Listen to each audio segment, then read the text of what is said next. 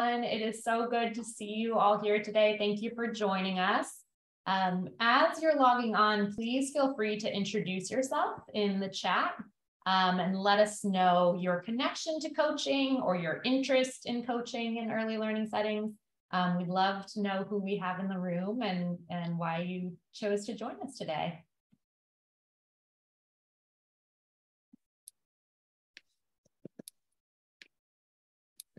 And we'll get started in a few minutes as folks continue to log on.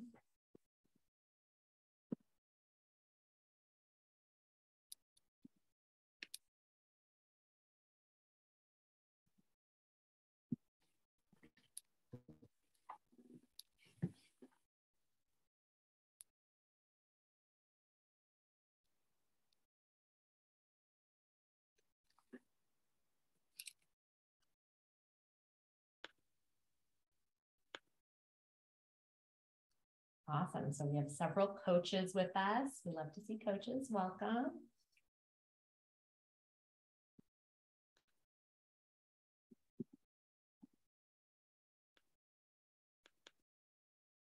Wisconsin, New Jersey, Michigan. Always exciting to see folks across the country join us.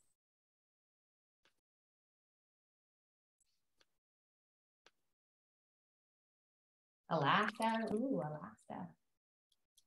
Colorado, Brooklyn. Awesome. DC. I was in DC for a long time. I love DC. Um, wonderful. All right. Thank you all for being here. Keep these answers coming in.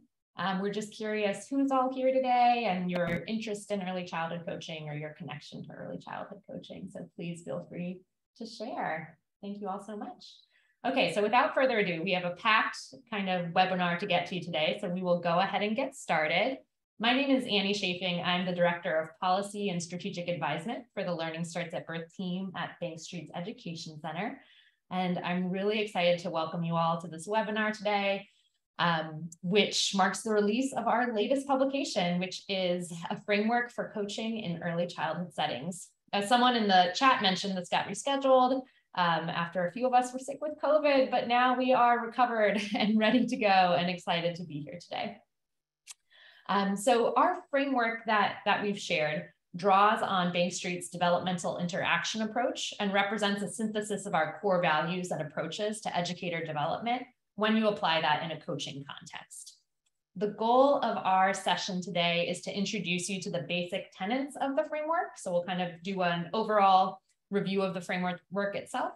And then we're going to get to engage in a really rich discussion with several different Bank Street experts as they talk about how to apply this framework in both practice and policy settings.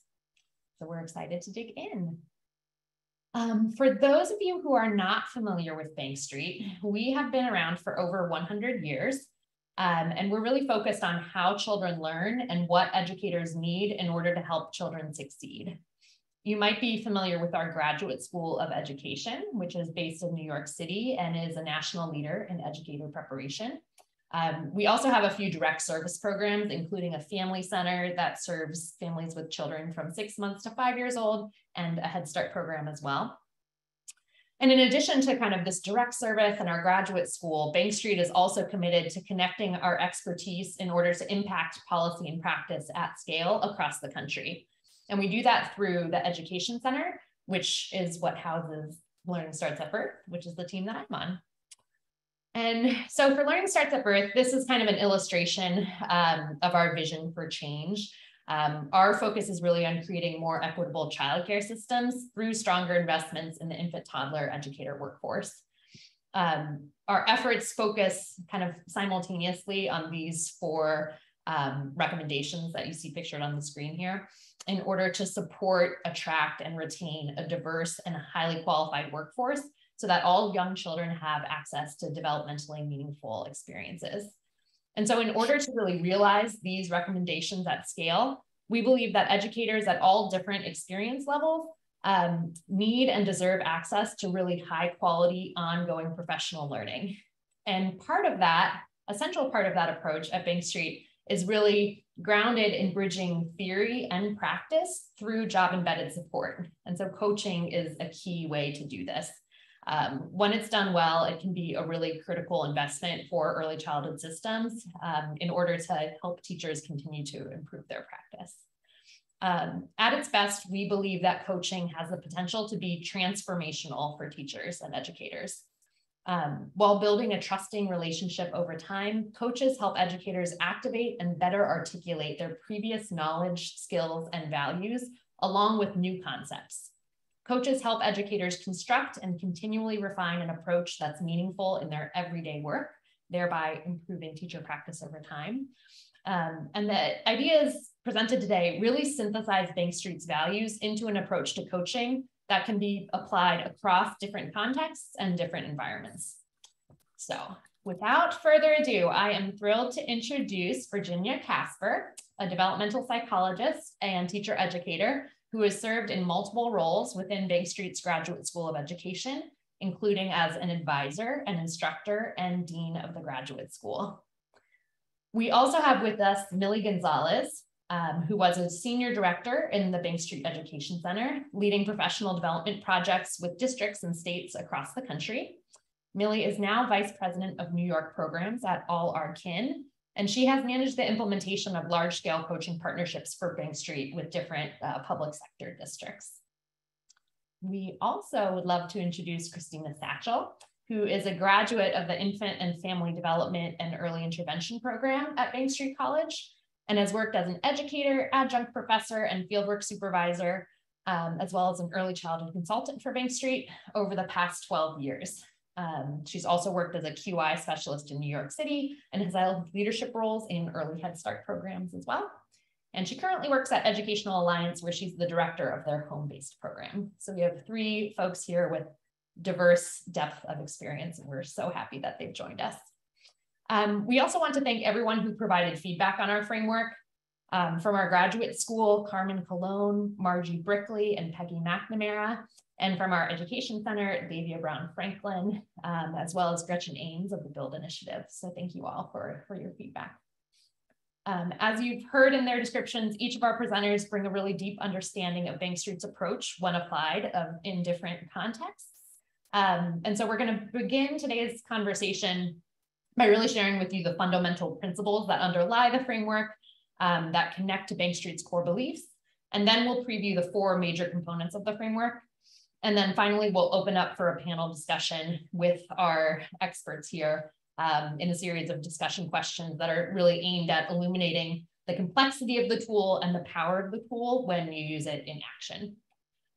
And finally, we will be saving time at the end for audience questions. So please, um, as they come up, feel free to drop questions in the chat. And then at the end, we'll, we'll pull some questions to ask our panelists. So without further ado, I am going to turn the discussion over to Millie. Thank you for that introduction, Annie. I'm really excited to be here with you all today to discuss a coaching framework. I myself uh, was a coach for a really long time, and coaching is one of my favorite things to talk about. Um, as part of our orientation to the framework, uh, it's important to highlight that it's not a rubric or an evaluation.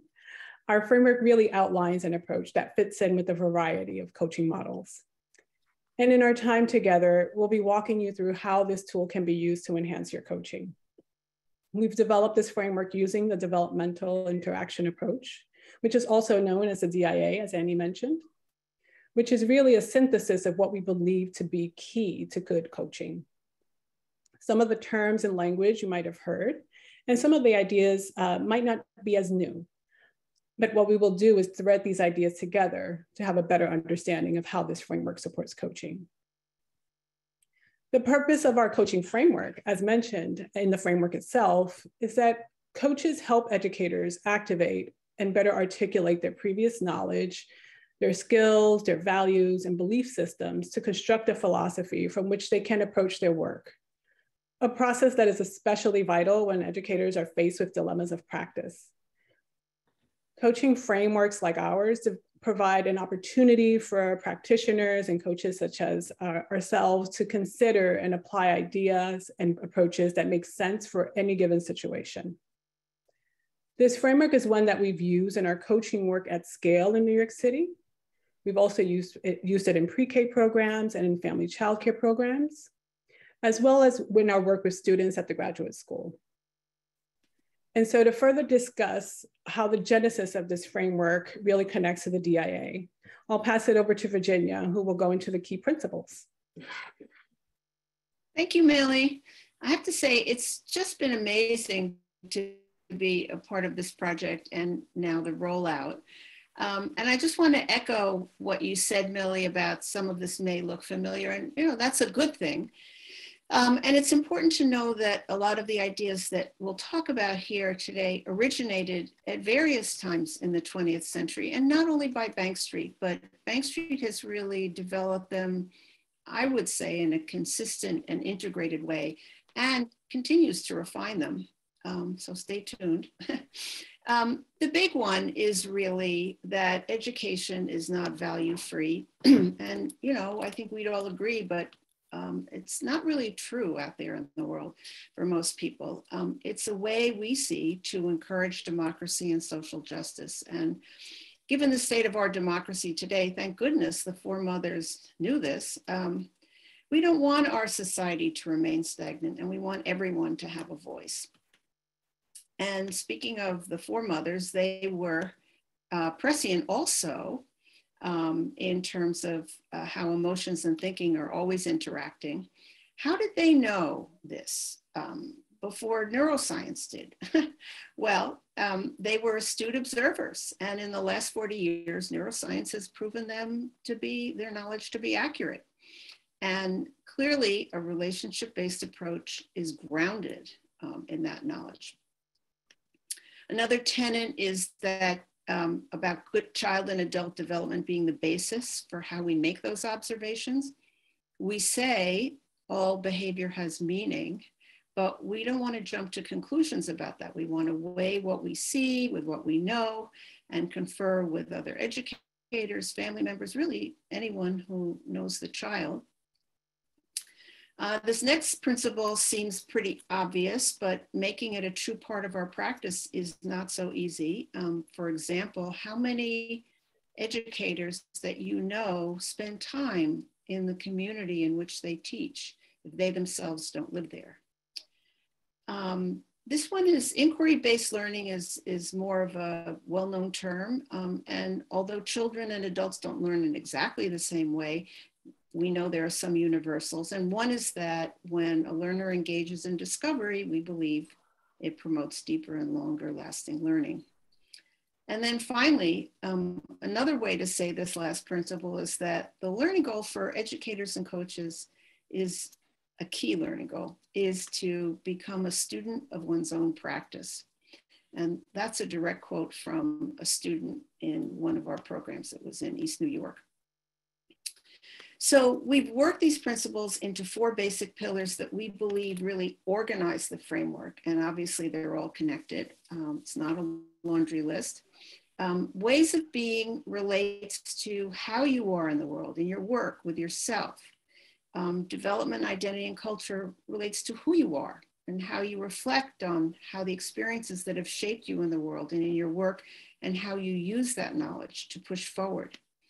And both educator practice and the complexities of the coaching ecosystem, that's a mouthful, they both relate to what you do when you coach. Um, and we named the last one the way we did, even though it's a mouthful, to really highlight the tremendous pressures on educators from families, communities, from systemic racism, climate based disasters.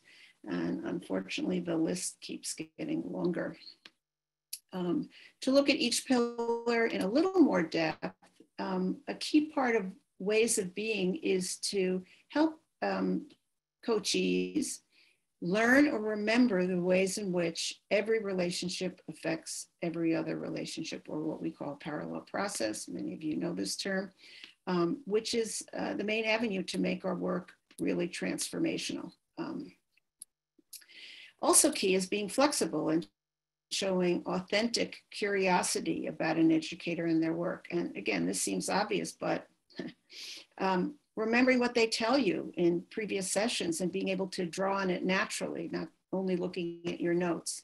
And how do we do that in our busy lives with such competing demands, mental demands especially. Um, and one thing is just clearing your head before coming into a program and spending time off site, really holding that educator and her practice in mind basically we got to slow down. it's not so easy. I'm even talking faster than I want to to make this work time wise. Um, but of course, one of the most difficult attitudes to counter is being judgmental because most of us have had judgmental experiences in education. And thinking purposefully about our way of being helps us cultivate a non judgmental, strength based approach. Asking probing questions, not dictating, commenting on what you see, like powerful interactions, great, I notice statements, and modeling thoughtful practice, like you can take notes on a small pad to help you reflect off site, but you can also share those observations with the coachee. Um, a fundamental part of who you are, you won't be surprised to learn, is reflective practice or, or reflective processes. Uh, try not to use supervision word because it has it can conjure up some a range of experiences for different people let's just say that.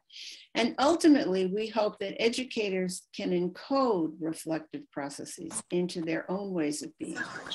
Something that we found can help educators understand the need for reflection is having a really solid grasp of just how different birth to three and birth to five age groups are from older children and why and how their behaviors pull so deeply on our inner emotional selves that sometimes we just don't even know what's happening. We just feel something really intense. Uh, it takes a while to unpack. Um, sharing how you work with other coaches to reflect on your practice models to the coaches how you learn from others. And there are ways to model and demystify reflective practice, such as saying, you know, I was thinking about what you said last week and it made me wonder, you know, or um, talking about how you change your mind about something in your practice. Um, but as I said, the, a, a, key, one of the key things to reflective practice is just how hurried all our schedules have become. And I think we have to together advocate and insist on changing that. And finally, it's just so important to trust in the process. It takes courage, but it's really essential. So the second pillar, um, I'm going to try and move through this a little faster, is um, how we've reflected um, on who we are in the world, um, and hopefully how we've changed. It's about self-awareness of our, you know, racial, ethnic, economic experiences, our biased influences on our perceptions, often unconsciously, right? which can make noticing, for example, the difference between our intentions and the actual impact they have on people difficult to be aware of. Making assumptions, not asking but telling, are practices that require a lot of work to erase, especially for those of us um, in roles that are considered knowing positions. Um, and, you know, coaching is really needs to be a partnership of learning. And my pet peeve, a key but neglected aspect, is um, thinking about where coaches are in their adult development. And we know that research shows that most educator preparation in this country don't emphasize child or adult development, or I should say adult develop, adult child, never mind. Okay, coaches can ask questions that help teachers use the development they do have and find out more in case they aren't sure what might or might what might not be developmentally based. And again, we don't want to use developmentally development blindly or rigidly, but really just as a guide to learn more. So Millie, I'm going to turn it back to you for educator practice. Thank you, Virginia. This is a great segue into the next pillar of the framework, which really digs into educator practice. And this section covers the ways in which we support educators in their goal setting and ongoing growth within their practice. So whether a program uses a fixed curriculum or the educator creates their own learning activities, the day-to-day experiences of young children need to be responsive to their interests and abilities and their learning needs. When we do this as coaches through intentional goal setting, ongoing observation, and reflection alongside the educator, we can use this uh, strength-based approach to help change practice. With educator practice, we're also considering how educators support children's growth with developmentally and culturally relevant experiences that they create. And the final pillar of the framework is complexities of the coaching ecosystem. This section considers both the interpersonal systems and the complexities of the coaching work. Sometimes resistance can feel very obvious, and other times it may be a little more difficult to understand and appreciate where the resistance is coming from resistance needs to be placed within the larger context of uh, sphere for readiness. So really thinking about where an educator is and their understanding of reflective practice will impact how they're, will impact, directly impact their ability to acknowledge the need for change. How we figure out what issues to address for ourselves and for the educators we support is a really challenging part of the work. There are so many competing issues that arise in the course of a teaching life and beyond the educator's stated goals, how a coach helps co-construct a hierarchy of issues can be and how these can be addressed is really where the work is. Uh, we're also conflicted because as um, Virginia mentioned, there isn't time for everything. So knowing that there isn't time for everything, how are you prioritizing that time together? Um, thank you, Millie. Thank you, Virginia, for that uh, run through. Um, let me do a little tech magic here to pin our speakers for the next section. Done. We are going to dive into our panel discussion now. All right, and you should see all of our panelists here on your screen. Um, again, thank you, Millie and Virginia, for that introduction to the framework. I think you've offered our audience a lot to think about in a short amount of time. I know we really flew through that, and I hope you all kind of are able to look at the framework as, as well as we have this discussion today. Um, but we all know that the framework is only the beginning. It's really how we use the framework in practice where change happens. So with that in mind, um, we are going to turn to some questions to help deepen our understanding of the framework's design and how folks can use it in action. So our first question is for you, Virginia. Um, can you talk about how the framework is informed by Bank Street's approach to edu educator preparation in the Graduate School of Education? Um, and how is this framework similar or different to approaches used in the graduate school? Sure. Um, well, a key aspect of the framework is helping educators develop an awareness of their how their own experiences of being parented and taught is part of your unconscious and work to striving to make those feelings and experiences more conscious in order to unpack its relevance for your work.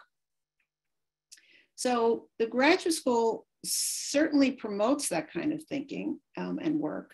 But I would say that understanding and making meaning of children's behaviors um, comes first for beginning teachers. Uh, it's not that that isn't a part of it, but you know, where do you start? you can't do it all at once. Um, so it's a, it's a question of emphasis, not different or similar as much. Um, and the other thing I would just say is that um, the ability to reserve judgment um, also mirrors principles in the graduate school. Um, it takes most adult learners a very long time um, to remove that fear of being judged. I re referred to this before, um, just because it's so deeply ingrained in us. Yes, thank you, Virginia. I appreciate that as a former teacher. And I remember when my coaches would come into the classroom, I would often feel very anxious as though I was being judged. And so I think that um, breaking that down is such an important part of being able to build that um, coach educator relationship. Um, you all bring really extensive experience coaching educators directly, but then also supporting the professional growth and development of other coaches. Um, so could you each offer some examples of the ways in which your coaching experience influenced the development of the framework or how the framework kind of informs your, your work now? Um, Millie, let's start with you. Sure. Um, I would say my previous experience in both being a coach and leading coaching work at scale, uh, there were key learnings along the way that influenced my thinking on what it means to be a reflective and responsive coach. And this mostly evolved from ongoing conversations with educators that continuously highlighted that there was something different about having a coach that was exposed to this framework.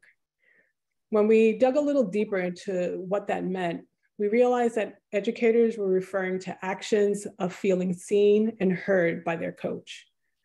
This is exemplified by small things such as checking in with the educator before a coaching session or celebrating a child's learning milestone that was impacted by the educator's support and tracking goals in a way that felt organic and authentic to the coaching process. The impetus of these actions that educators highlight really came down to relationships and the understanding of de adult development. And that's mostly how we saw the framework show up um, in our work at scale. It also showed up for professional development as well. Um, although there is a more sort of group approach uh, when you're working in professional learning sessions, the, the values of the framework and the DIA are still there. Thanks, Millie. Hi, everybody. Good afternoon. I'm so happy to be here with all of you and with this great team. Um, I'm Christina. So to answer um, your question, Annie. So for me, um, as a coach, whether it's for um, teachers, home visitors, graduate students, um, our goal is always to meet people where they are professionally. Um, and to do this, we really need to have shared goals around how we view um, and treat young children and their caregivers and how we approach education. Um, so as mentioned before, um, also having space for reflection is key. So without that, um, this framework, which um, has the developmental interaction approach as its foundations, is deeply rooted in relationships. So relationships to the environment, to children, to families, to colleagues. Um, and really because of that, um, I really see that the framework helps support both the coach and the coachees um, in growing where they want to grow um, and to open space for them to think about areas for growth um, that they may not have thought about. Um, so as, as a coach, I also see it as a tool to help um, my coaching skills move forward um, as I am making sure that I'm tapping into all of those key sort of approaches that Virginia had laid out in the framework. Um, so, and then in this way, both the coach um, and those being coached are in that parallel process that we that we speak about, right? We're learning together, um, and and then a community or a culture of learning then is grown out of that um, because everybody then becomes a learner um, and there's space um, you've created space and time to grow together Um, I'm going to answer your question sort of personally for my own development as a professional, going way back. Um, and I'll say that um, I'm basically an impatient person. And I've had to um, consciously work at having patience um, in a professional way. And it's, it's served me well. Um, and it's, it's allowed me to lessen my judgments by trying to think about why an educator might be following a particular path. Um, I'm still not so patient in the rest of my life. But anyway, um, and the way I've been able to develop in this direction really came from my early years at, at Bank Street as a junior faculty member, where I experienced non judgmental mentors and an ongoing, regular, uh, you know, meeting weekly group reflective process for advisors. So we had a deeply rooted parallel process going on. And I'm aware of how long it took me to change my headset. So it hasn't been lost on me in doing my work with educators um, and coaches throughout my career. And I'm just going to give a quick example. So when I first work, worked with um, programs that had box curriculum, fixed curriculum, my first impulse was to make uh, a pretty stern judgment about it. Um, and we spent a lot of time as a group thinking about why and how that curriculum was there and how we could work with it. Um, and you have to be patient to do that. Yes, thank you, Virginia. And thank you all. I, I really like what I'm hearing about this kind of parallel process coming through, how the teachers are learning, but then it's also important for the coaches to have that space for really learning about their own practice and reflecting on it and growing as well. Um, Virginia, you were the primary author of our coaching framework. Can you tell us a bit about how you made choices about what you included in the framework um, and what you highlighted given your experiences with coaching and supporting other coaches? Sure. It was messy at first. Um, but I think the most helpful thing was identifying those four pillars as an organizer. Um, and clearly, ways of being is the pillar that most programs need help with um, uh, across the country, I, I would say. Um, and once we had a rough working idea of the who, the what was kind of the next obvious step. Um, I would just say briefly that um, based on my experience, going for the hard issues was kind of a given.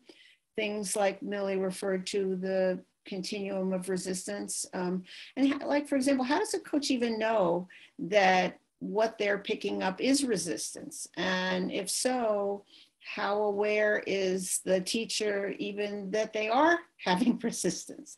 And given that all that's true, how honest um, and not confrontational, but direct or indirect um, should the coach be? Um, it's really how do you, as Millie talked about, how do you enter that continuum of resistance? And then finally, I just, as a coach, I really value um, telling stories.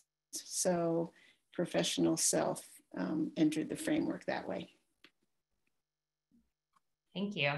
Um, and I do want to remind everyone in the audience that we will have time for your questions. So if folks have questions about the framework or about approaches to coaching more generally, please feel free to drop them in the chat and I'm sure our panelists would be happy to answer them. Um, now we're going to turn to some of the challenges that come up through implementation of a framework like this. Um, and how to use frameworks to support coaches in their work with educators. Um, so as we've talked about as a coach, you have to balance an educator's need for really quick answers while also building their own ability to be able to observe their practice and reflect and find their own answers. Um, so Christina, we'll, we'll start with you for this question. Can you speak about the ways in which needing a right answer um, comes up for educators? And what advice do you have for coaches when they're when they're running into that? Yeah sure. Great question. Thank you. Um, so i think we've we've spoken about how we all know educators um, have very little time in their day um, and it's sort of natural to want that quick answer or quick fix to things um, however one of the starting points to really establishing and building um, a relationship is making sure that everyone feels okay with not having the right answer or a quick fix. Um, but instead to feel comfortable problem solving together um, and trying out solutions um, and then dedicating time to reflect on why something worked out and didn't work out. Um, and that's tricky with the lack of time. Um, you know, as a director, I will um, prioritize as much as anything else um, time during the week to make sure that reflections can happen. Um, so, you know, that's sort of one piece is, is really putting in the time for the staff um, in their weekly schedule to do that. Um, and remembering what Virginia mentioned earlier is um, really working on not making assumptions about children, families, educators, um, because there is no one size fits all, right? So um, you, you can't have quick fixes if you come from a place of, of not really making assumptions.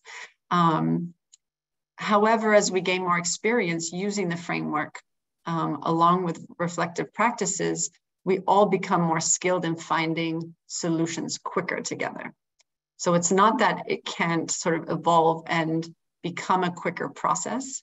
Um, but you know, like anything, it sort of takes time, and we talk about um, flexing those reflective practices, um, and then things sort of happen quicker.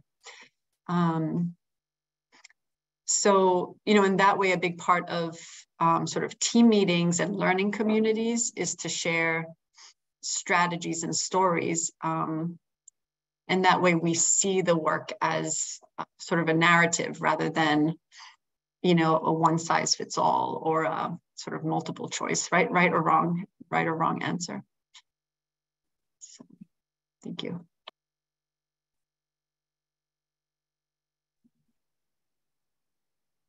Virginia, did you did you have anything to add? Well, I, I just wanted to say that I love how you said, Christina, that the process, you know, gets better. And as it gets better, it can also go a little faster. And I think that's true. But I never articulated it that way to myself. Anyway, it's it's it's clearly one of the toughest nuts to crack.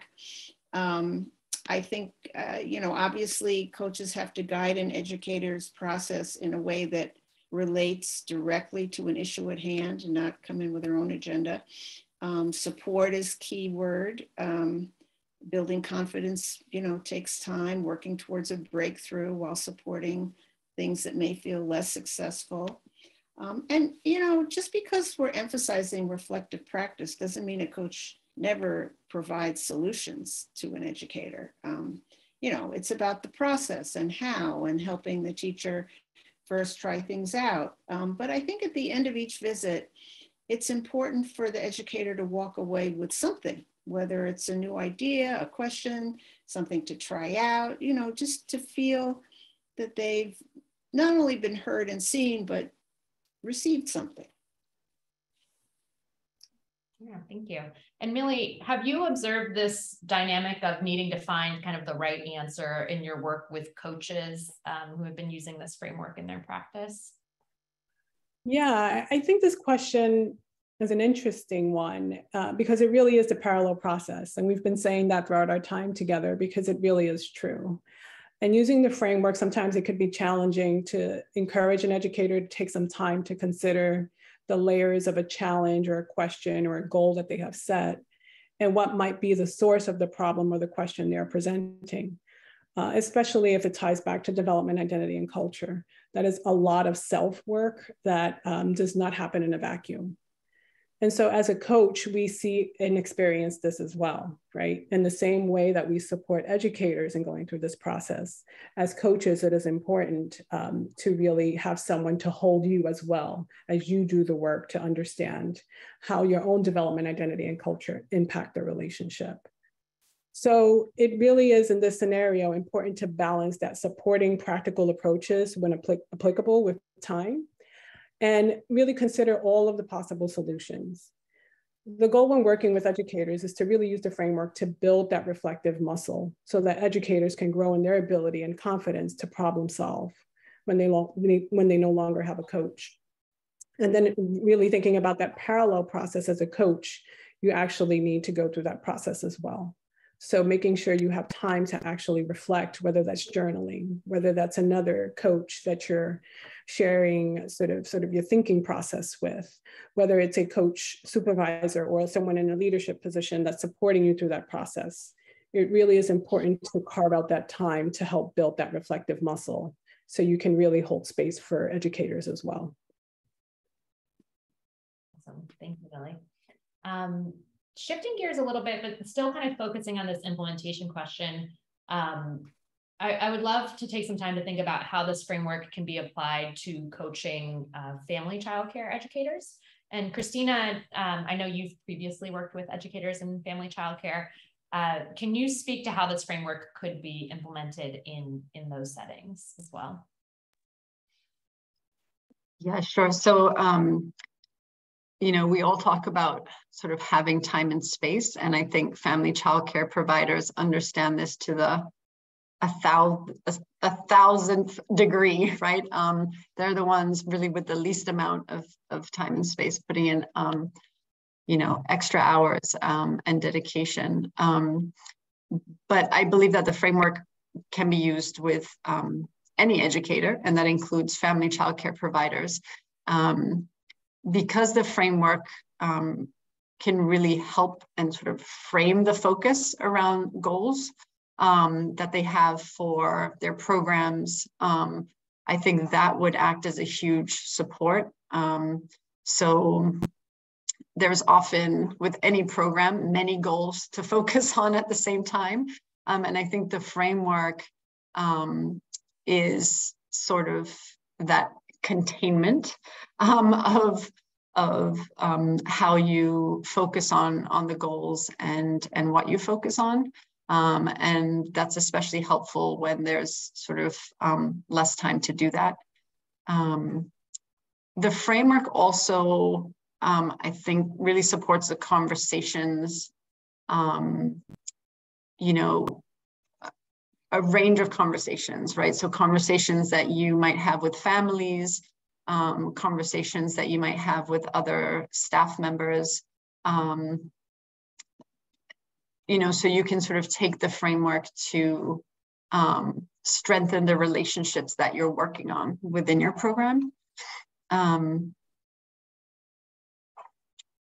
you know, and the the other piece too is that really, which is a structural issue, I think, for everybody, but is really building in those structures for learning communities. Um, when I worked with family childcare providers, even though they were working very long hours, they really appreciated having learning communities where you know, many of them could come together to talk about a shared concern or shared goal. Um, and, you know, the, the framework again as, um, you know, as sort of a foundation for these conversations, I think could be um, really helpful in, in pushing um, quality um, of, of relationships and of programs. Thank you, Christina. Yeah, I, I appreciate that because family childcare providers are often so isolated. And so I love that idea of kind of bringing them together in those learning communities to be able to do that reflection um, with other folks. Now, my next question is for Millie first, and she is still here and just has lost her pin. So I'm just going to bring her back. Um, might just spotlight, there we are. Um, so a lot of folks in our audience represent systems or organizations that might be implementing coaching and they want to adopt or adapt this framework in their own practice, kind of at that systems level. Um, can you talk about the conditions that you think are required for successful implementation of this approach? Sure, sure, Annie. And I think as part of adopting this framework in any system, it's really important to consider three conditions. Our first one you might have heard over the course of our time together is time time for actual meaningful reflection um, and professional development. Uh, the reflection, whether individually or in small groups, such as professional learning communities, are just as valuable.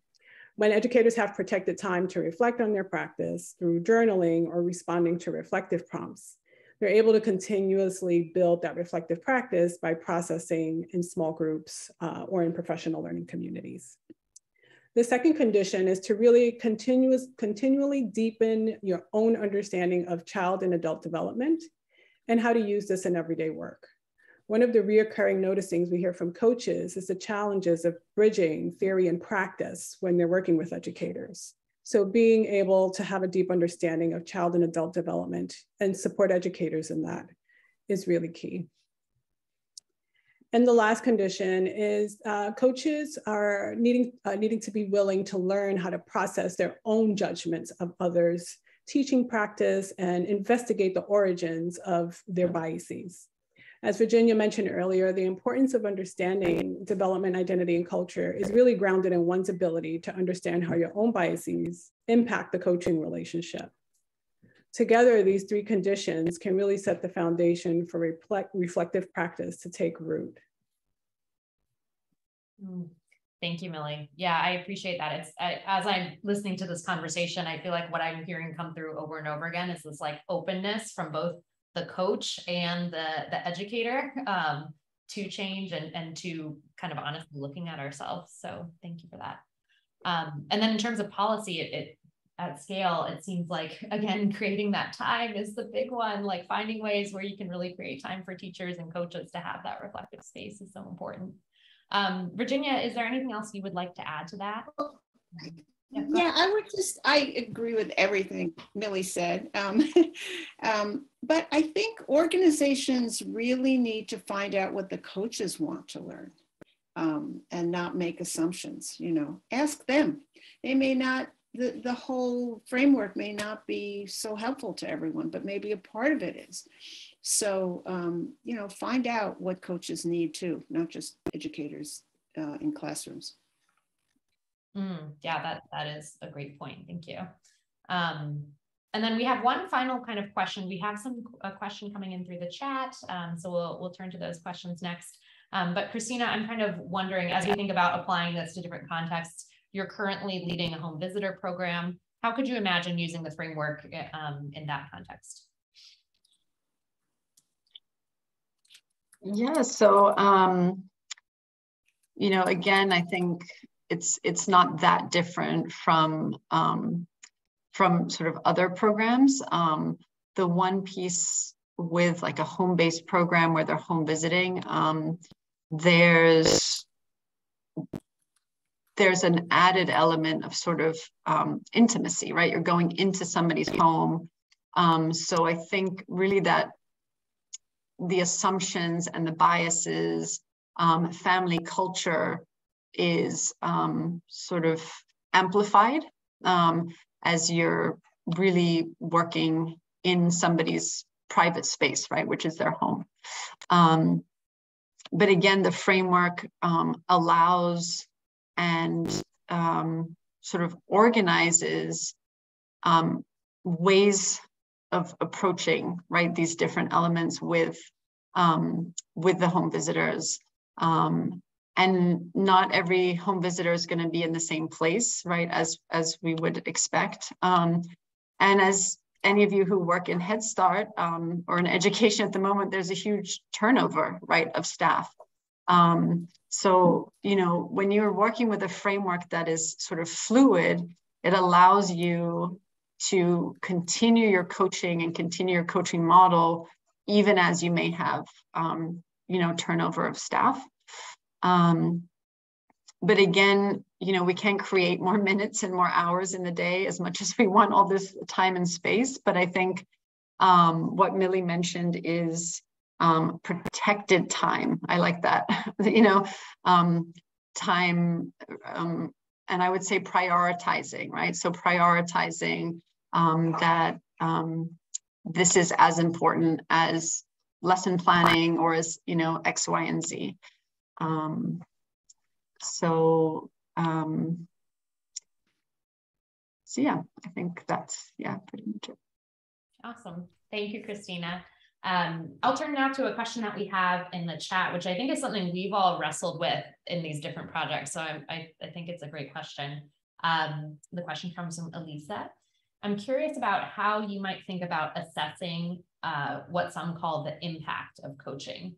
How can we make coaching slash learning visible, um, especially to those who don't already see and experience it? So how do we communicate kind of the power of coaching and, and its effectiveness? Um, how, how do you all think about that?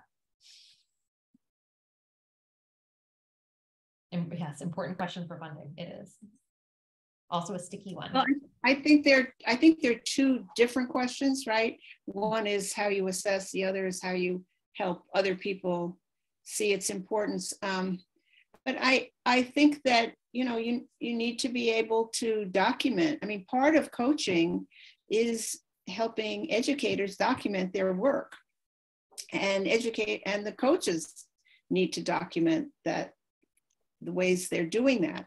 So I think there needs to be a way that, um, you know, people can, without getting a huge grant, because that's very hard, um, you know, code um, different kinds of learning and changes over time. Hmm. And I would add to that that sometimes the word assess can feel like a bad word when we're when we're talking about uh, relationship based approaches. But really, when you break that down, it's a little bit of what Virginia is saying, right? Is how do you document that process of learning together so that it feels authentic and, trans- and transparent, right? The documentation process should not be a hidden process. It should be a shared process where everyone is exchanging information in relation to the goal that you've set together. So, in turn, that documentation actually is very valuable data that could be and feed into an assessment process that still centers sort of human connection at its core, but also speaks to the powerful impact of coaching work. Mm. I'll just, um, one last thing I would say in terms of, which I agree with the data and the assessment, um, is thinking of um, programmatic data. Um, from my experience, um, there was an increase or a decrease, I should say, in staff turnover once we started coaching. Um, and that's huge for any program, um, right? Is retaining and keeping staff um, because they feel seen, because they feel heard, um, and because they feel respected um, in their work. So I think that's um, another huge data piece, really, that that could be um, I would expect to see across programs that use coaching. Mm. Yes, great point. Thank you. Thank you all for that. Um, let's see. I saw another question in the chat. Okay, so someone is asking, so I appreciate the encouragement to have patience and give time for growth and development. Um, but many of us work in urgent environments where educators are under a range of real pressures. Um, can you talk about how you've managed to create that space and also balance uh, the reality, these realities?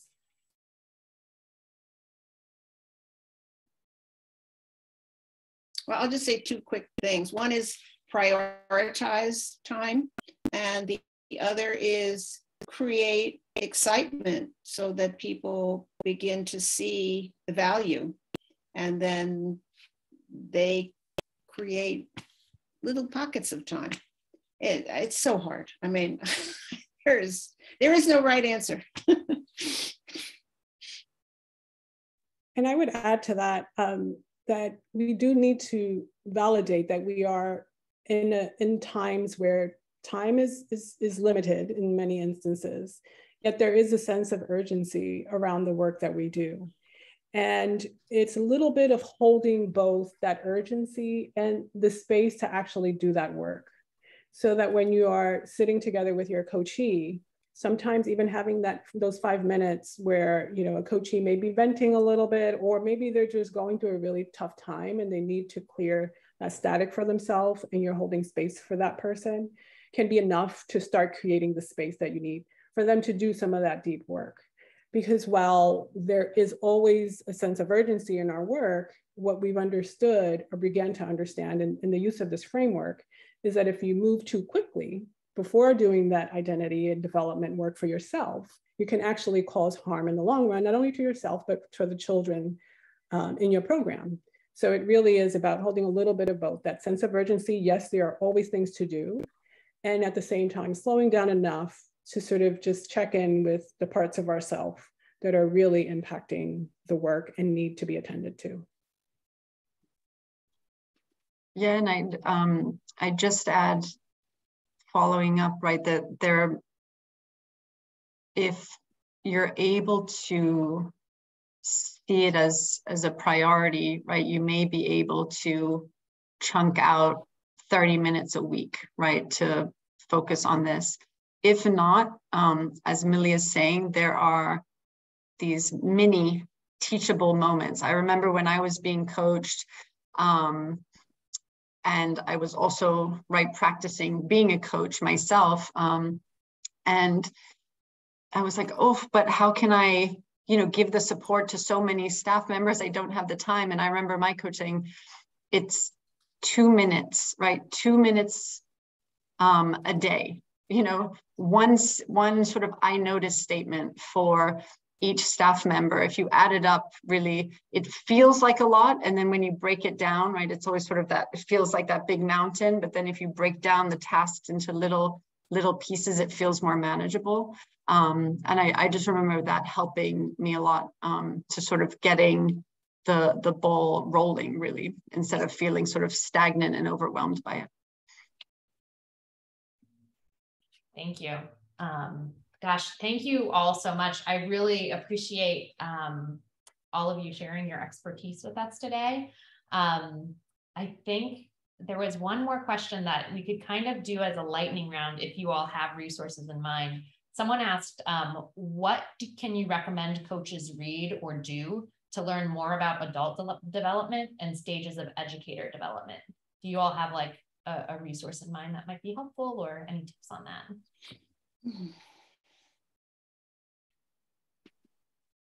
You know, I, I can't think of an exact reading right now at the moment, but there's there's a lot of good stuff out there. I think, you know, starting a little study group, it doesn't have to meet that often, and um, doing some research to find just starting off with one reading or mm. bring in someone who can talk about it and go from there you know integrating the issues that you know the, the questions you have about adult development it's really important it's just so neglected mm. I mean, I would add we've in our recent coaching work have also used um, some of Elena Aguilar's work in the art of coaching. I think she does a great job of balancing the understanding of adult development and how that impacts coaching. Um, so book studies around that. She also has one for teaching teams for those of you who have programs where you're working with educators um, teams. So yeah, I think that's a, a recent resource that comes to mind. Awesome. Thank you both. All right, we're going to wrap up with that because we only have three minutes left. Um, again, we want to thank everyone who joined us today. We had folks from a wide kind of cross section of the early childhood space, um, folks that are educators, coaches, systems leaders, policymakers. We appreciate all of you being here today. Um, we hope that our presentation has inspired you to take a closer look at our coaching framework and given you a bit of a glimpse um, into Bank Street's approach um, applied to coaching. We do have a survey that we would love you all to fill out if you could to um, kind of inform our, our webinars and make sure that um, we're addressing what, what you need and um, provi providing a, a, useful resource for you. Um, we also welcome you to reach out to the Learning Starts at Birth team um, if you have any feedback or additional questions about the tool. Our Ed Center is also available to support partners who are strengthening uh, their coaching or building an approach to coaching. So please save the email that's up on the screen here and feel free to connect with us at any time. Um, and within about a week, we should have a recording of this posted to our website if you'd like to share it with any of your colleagues. So with that, thanks again to Millie, Christina, and Virginia for joining us today. We really appreciate you sharing your expertise um, and offering your insights. And we hope everyone has a great day. Thank you, everyone. Thank you, everyone. Thank and we'll, you. Stay on so you have some time to fill out that feedback survey. So click that link and fill out that survey.